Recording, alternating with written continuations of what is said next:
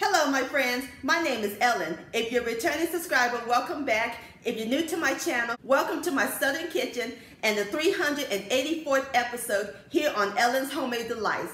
Hope all you're doing well and staying safe and healthy. Cobblers are my all-time favorite summer dessert. Strawberry, blueberry, peach, you name it. So today I'm gonna share with all of you a peach cobbler recipe. And it's the summertime and you know what that means, fresh peach season. So we're gonna make this peach cobbler using fresh peaches. And my friends, it is the bomb.com. It's gonna be so delicious simple and easy to make and we're gonna put a cinnamon sugar topping on it. Mm -mm. How yummy does that sound? And this peach cobbler is going to taste like how your grandmother used to make. And when you taste this peach cobbler, this will bring back memories of being in your grandmother's kitchen. And I'll post a complete recipe along with the instructions down below in the description box.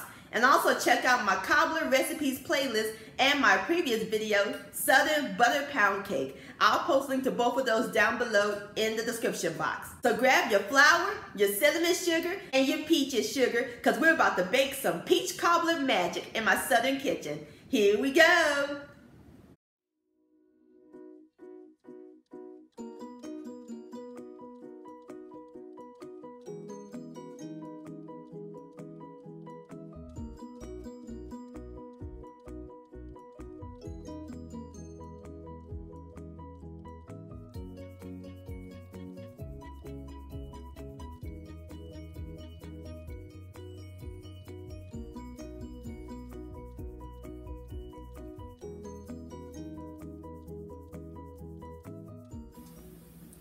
Alright my friends, the first thing we're going to do is prep the peaches.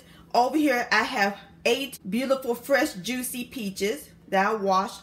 So now we're going to peel them and slice them.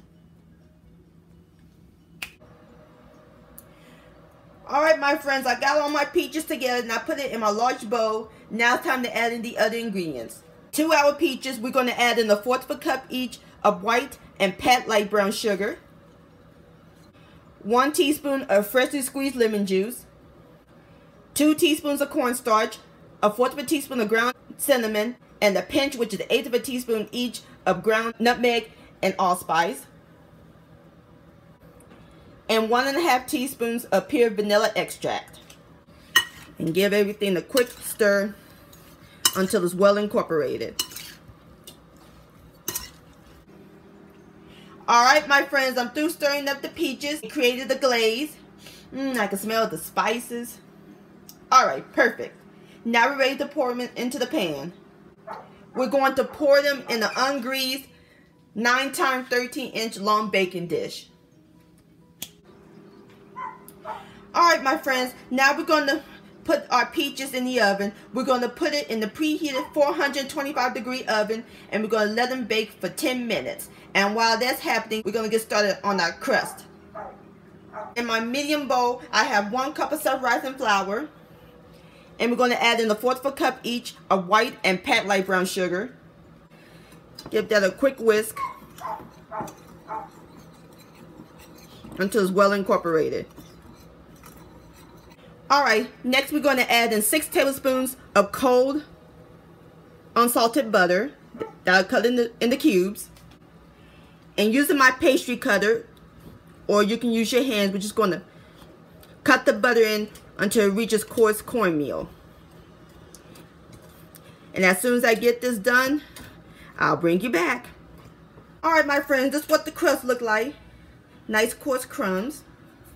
All right, that looks great. Now it's time to add in the last ingredient. A fourth of a cup of boiling evaporated milk. And stir until it's well combined.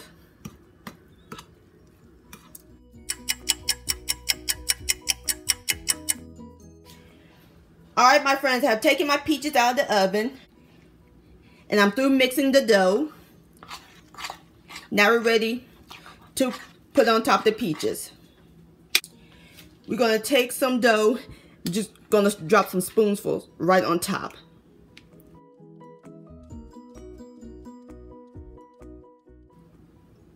Like so.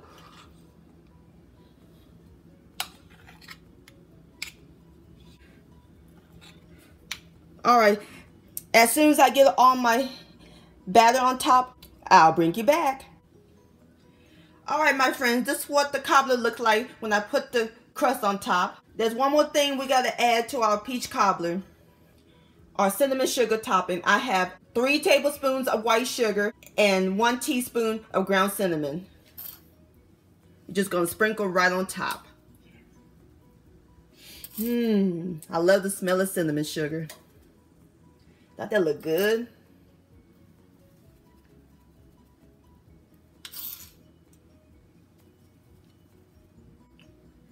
All right, beautiful. You ready to go into the oven? We're going to put it at the same temperature we cooked the peaches, 425, and we're going to let it bake for 30 minutes. All right, I'll bring you back.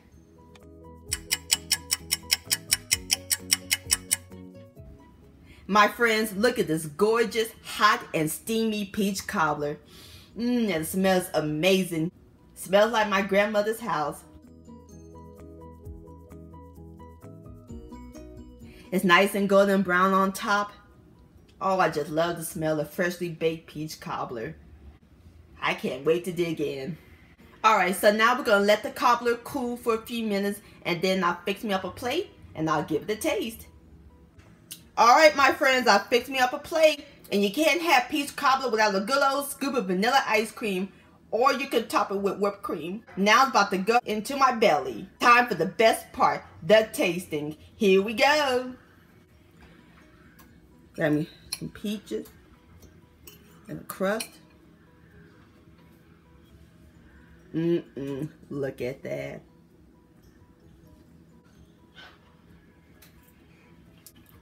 Mmm. The peaches is tender. The crust is light and airy. Love that cinnamon sugar topping. I could taste all the spices. Mm, nothing like peach cobbler and ice cream. This is incredible, my friends. This would be great to serve for you. Barbecue cookouts, family reunions, fish fries. Please give this recipe a try. This deserves another bite. Serve it with some ice cream.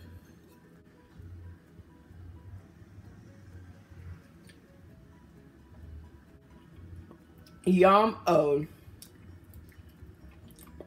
Peach cobbler, licious My friends, many thanks so much for watching and joining me in my southern kitchen today. If you enjoyed this video and this recipe, please give it a thumbs up. I really do appreciate it. Don't forget to share this with your family and friends. Like, comment, subscribe to my channel, and click on the bell so that way you'll be notified when my new videos come out. And also hashtag Ellen's Homemade Delights or send me an email, Ellen's Homemade Delights at gmail.com.